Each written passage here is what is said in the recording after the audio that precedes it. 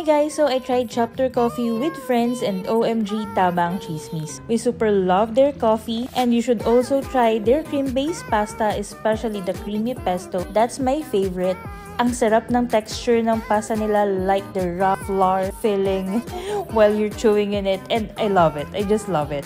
Plus, if you're looking for a matcha latte na hindi lang lasang gatas but still have that matcha taste but not too strong, visit Chapter now. Bye!